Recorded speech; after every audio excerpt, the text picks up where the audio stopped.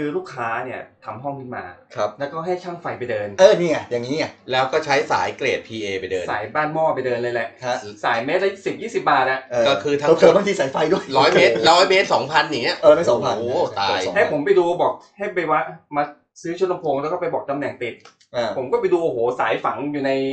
อยู่ในผนังแล้วเกลือขึ้นดำ เออ ออกไซด์ไงโอ้โหเป็นสนิมออกไซด์เปลี่ยนก็เปลี่ยนไม่ได้ฝังอยู่ในผนังยังไม่ได้ แก้ปัญหาไง ก็ ก็เดินใหม่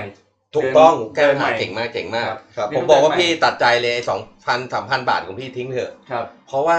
เอาออกมันเอาออกไม่ได้แล้ว ถ้าเล่นเดินอย่างเงี้ยมันลื้อไม่ได้แล้วครับ ทางแก้ปัญหาอย่างคุณเอนี่ถูกต้องมากก็คือเดินใหม่เลยครับก็อาจจะใช้สายราคาไม่แพงอย่างร้านเราเริ่มต้นก็เม็ดละร้อยกว่าบาทก็มีสลีปอย่างเงี้ยหรือเม็ดมอนิม็ดละเตอร์170สตาร์อย่างเงี้ยครันะบก็เม็ดละร้อยกว่าบาทไปเดินใหม่ก็ท่านก็เสียตังค์อีกไม่กี่พัน แต่ว่ามันมั่นใจได้ว่าสายมันมาจากต่าง เยอรมัน made in Germany หรือว่าแต่ออริเพสแต่ท่านใดถ้าถ้ามีงบนะ ถ้ามีงบให้กับพวกเรื่องพวกสายลำโพงอ่านะสายลำโพง ผมแนะนำใช้สายดีๆนะ ต้องดีไงไหนๆก็ทำไปแล้วนะอย่างคุณเดินสาย surround อย่างเงี้ยครับสาย Atmos อย่างเงี้ยครับคุณไม่มีโอกาสได้รื้อใหม่นะครับครับ เดินแล้วเดินเลยนะ ครับ มันไม่เหมือนกู้หน้าเซ็นเตอร์อย่างเงี้ยเราต้องมามาเปอัลี่พยนเปลี่ยนได้ตลอด บ่อยๆอย่างเงี้ยครับ ถ้าอย่างมีอย่าง Rocket สี่สี่ Rocket แปดแปดเงี้ยผมถ้าถ้ามีมีก็ใส่งบใส่เลยเลยเอาอะไรแต่ท่านก็เล่นกันนะครับผมเห็นเล่นในบ้านคุณบิ๊กก็ใส่ Rocket อย่างเงี้ยโอ้โหผมว่าตรงเนี้ยน่าจะเป็นจุดแรกเริ่มที่ท่านจะซื้อชุดโฮมท่านต้องคิดตรงนี้ก่อนเลยครับกระดุมเม็ดแรกฮะครับเพราะว่าท่านทำห้อถ้างถ้ากัดผิดก็ผิดตั้งแต่ต้นอะท่านต้องใช้สาย คุณภาพที่ดีพอสมควรในวันกานี้รคำคมมากเดินลำโพกระงดุมเม็ดแรกครับฮะโอ้โหผมปลื้มมาดิเจ้านายโดนตัวไหนมาเนี่ยเฮ้ยผมก็พอวันนี้จะมีคำคมเยอะนะผมก็พอมีคำคมกระดุมเม็ดแรกเรื่องจริงฮะคือแบบไอการกระติดกระดุมเม็ดแรกผิดครัอะบมันก็จะผิดตลอดสมมติผมฮะติดตรงเนี้ยมันขึ้นมาอย่างเงี้ยฮะมันจะผิดมันปลายทางมันจะถูกได้ไงใช่ไหมโอ้โหถ้าเป็นลูกค้าผมที่ผมดูแลผมจะแนะนำตลอดถ้าถ้าถ้ามีงบเนี่ยแนะนำให้ใช้สายดีๆ พี่นวินอย่างเงี้ยครับครับอย่างดูพี่นวินเป็นตัวอย่างใช้ล็อกเก็ตแปดเดินทั้งระบบไม่ต้องลื้อกันไปบ่อยแล้วสายเนี่ยนะสายลำโพงดีๆเนี่ยนะ คุณติดลำโพงเข้าไปแบบเดี๋ยวนี้ไม่ต้องเซตอะไรเสียงมันมาแล้ว ครับ น้ำหนักเสียงโอ้โห แต่สายถ้าไม่ดีนะฮะ ไปเจออย่างสมมุติถ้าท่านท่านท่านฝืนอะเพราะบางทีบางท่านก็อาจจะบอกผมก็ไม่รู้ทำยังไงแล้วบางผมก็ต้องใช้แล้วเพราะมันเดินไปแล้ว เมียจะกรีดผนังก็ไม่ได้แล้วโอ้โหมันจบจริงๆครันะบมัน อืมถ้าท่านนึกไม่ออกนะท่านนึกท่านนึกถึงท่อน้ำเหมือนเขื่อนอะเออเออเขื่อนมันแตกอะเออ แต่ท่อมันเล็กๆอะมันจะไปยังไง มันจะไปไม่ยังไปไง ยังไงเออครับ มาแบบคือแบบมาแบบ มวลน้ำมหาศาลนะใช่ปล่อยมาร้อยอเหลือกอมาปล่อยมาร้อยเปอร์เซ็นต์เหลือลำโพงอยู่สิบห้าเปอร์เซ็นต์เออไปกันจิ๊ดเดียวอะนิดเดียวนะแต่สายดีๆอะไปร้อยเออหล่นไปมามั่งไม่มามั่งมีใช่มีแบบตะคงตะไคร่ติดอยู่ในติดอยู่ในท่อด้วยโอ้โหเห็นภาพ แต่ว่าแต่ถ้าลำสายลำโพงดีเนี่ย ส่งไปร้อยตกหล่นสักห้าสักสิบมันก็ยังเก้าสิบไงครับ ผมก็เสริมนิดหนึ่งว่าครับสายลำโพงดีเนี่ยไม่ใช่ว่าท่านไปซื้อสายจีนเส้นใหญ่ๆโอ้ครับบางทีหน้าตัดมันเริ่มใช่บางคนแบบโง่เฮงดีสายมีผมมีกระดูกงู ครอบข้างนอก เนี่ย เส้นใหญ่ บางท่านเข้าใจผิดสายดีไม่ไม่ได้อยู่ที่หน้าตัดอยู่ที่นะหน้าตัดนะอยู่บางท่าที่นวัสดุ ไปไปโฟกัสแบบผมต้องไปใช้หน้าตัด6มิลโอ้โห มั่งแปด mil ครับ สี่ mil โอ้ครึ่งโห มันไม่เกี่ยวฮะ ถ้าเป็นการใช้ใน home theater ในบ้านปกติเลยเนี่ยนะฮะครับเขา recommend พื้ที่แนะนำอยู่เลยแค่เนี้ยคุณเดินอย่างมากก็สิบกว่าเมตรอ่ายี่สิบเมตร เอ้าครับ surround เนี่ยสองจุดห้า square mil เกรดดีๆเนี่ยนะฮะใช้ได้แล้ว มันไม่ได้อยู่ที่ความใหญ่ครับท่านอย่าเข้าใจผิดสายใหญ่มันไม่ใช่ว่าจะเสียงดีหรือว่าครับโอ้ผมเน้นสายใหญ่สายจีนมันไม่ใช่ฮะเดินยากอยู่นะครับเดินยากอีกนะเดินยากจะเสียงไม่ดีมาร้อยท่อก็ร้อยไม่ได้อีก ถูกไหมฮะถามว่าสายหน้าตัดที่คุณชวัตบอกนะ2.5 square mil นะก็ก็นิดเดียวนิดเดียวแต่ว่านิดเดียวทองแดงอะเขามีการผ่านกระบวนการพวก oxygen free อะเอาเป็นว่าผมให้ไอเดียว่าประมาณ 2.5 square mil แล้วกันครับคือ 1.5 เล็กไปหน่อยครับ2.5 เนี่ยผมว่าผมติดตั้งเครื่องเสียงมาเนี่ย โอ้โห ไม่รู้เท่าไหร่ต่อเท่าไหร่แล้วหลายหลายไม่มีปัญหาหลายทีพันนี้ผมผมจะเล่าประสบการณ์เรียกได้แล้วเนี่ยคือผมมาอยู่ปิยะนัสเนี่ยประมาณสิบกว่าปีใช่ไหมครับครับตอนย่างก้าวมาปิยะนัสครั้งแรกเนี่ยผมครับก็ยึดกับสาย อย่างที่คุณชอยบอกรอสายรอบ้านหม้ออ๋อมันเป็นอย่างนี้นะอ่าอ่าสายบ้านหม้อเออผมก็เอ๊ะ แล้วสายบ้านหม้อกับสายเนี่ยมันมันต่างกันยังไงวะเออเออ ผมก็แล้วผมเอาสายปีนัดเนี่ยไปบ้านลูกค้า เดินสายเดินอะไรเนี่ยเออ แล้วอีกสักสี่ห้าเดือนเนี่ยผมไปบ้านลูกค้าแล้วผมก็ไปดูอะสายข้างในเนี่ยมันทองแดงทองแดงมันยังสะอาดกริบมันยังอยู่เลย สะอาดกริบอยู่เลย แต่สายที่คุณเคยใช้แต่สายที่ผมเคยใช้อะเป็นไงดำปึ๊ดเนื้อกินโอ้โห นี่ผมนี่แหละประสบการณ์ผมเกิดเมื่อก่อนดีๆ ผมไม่เชื่อนะอืมเมื่อก่อนผมันมมันมันต้องเจอเหตุการณ์อยู่นะเพื่อที่ที่จะเก็ตนะ โอ้โห บางคนเราพูดให้ตายก็ไม่ get นะ มันคือประสบการณ์พี่ต้นอืม นะมันมันต้องเจอตัวเองบางทีเราพูดให้เขาฟังเขาก็ไม่เชื่อ แล้วคุณคุณไม่มีทางที่จะทำให้มันดีได้ผมบอกเลยครับมันไม่มีทางเลยนะ ต่อให้คุณใช้ power amp ใหญ่ นี่คือสิ่งที่มันจะเป็นไปไม่ได้เลยที่แบบจะเสียงดีแบบโดยโดยธรรมชาติครับคุณใช้ power amp บอกผมใช้ใหญ่ ผมใช้ลำโพงเกรดดีครับแต่คุณใช้สายแบบผมเห็นหลังๆบางทีมีคุยกันโอ้ยสาย home theater เมตรหนึ่งแปดสิบบาทเจ็ดสิบบาท สายจีนสายอะไรเนี่ยโอ้โหผมไปเจอลูกค้าซื้อไปติดผมเห็นนะนะแล้ววันนั้นผมก็ไปฟัง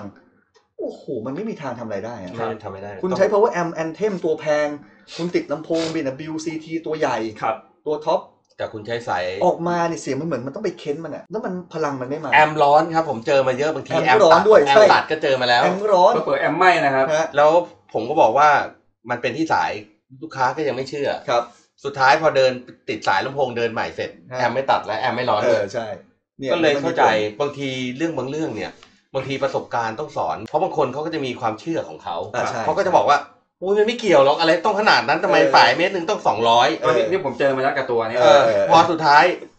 เราต้องทำให้เขาเห็นฮะคือของบางอย่างก็ต้องมีราคาค่างวดค่าเจ็บตัวครับซึ่งพี่ก็ยินดีโดน แล้วผมก็ไม่รู้จะห้ามพี่ยังไงครับครับสุดท้ายพี่พี่เห็นมาโอ้โหมันเป็นอย่างนี้อ่า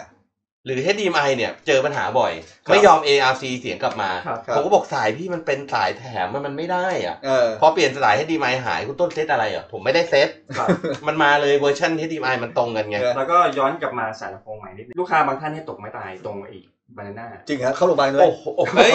ไม่ได้ตกม้าอ๋อตกม้าตายไปสำนวนตกใจเลยโอ้โหคืออย่างโอ้โหสมมติว่าซื้อสายดีๆเราไปหาไปถูกี่กไหมหมื่นเจอบานาน่าของเราของมอนิเตอร์เนี่ยฮะมันก็สี่ตัวพันใช่ไหมครับก็ไม่ซื้อบอกแพงเออไปซื้อที่ไหนไปบ้านหน้าซื้อตัวละสิบห้าบาทยี่สิบห้าบาทเนี้ยบ้านหม้อมามาใส่เงี้ย มันอั้นนะครับเป็นผมบางภูเขามันครับมันไม่ใส่ดีกว่า ครับ ไม่ใส่ดีกว่าไม่ใส่เปื่อยๆดีกว่าเปื่อยๆดีกว่าจะทนทำไมอั้นทำไมไม่เข้าห้องน้ำเล่นเล่นกันเองเล่นกันซะแล้ว เราก็ต้องบอกลูกค้าตรงๆอะครับมันก็เหมือนเคสกรณีเดียวกับสายลำโพงนั่นแหละครับใช้เป็นสักพักมันจะดำครับ พวกนี้ดำเนี่ย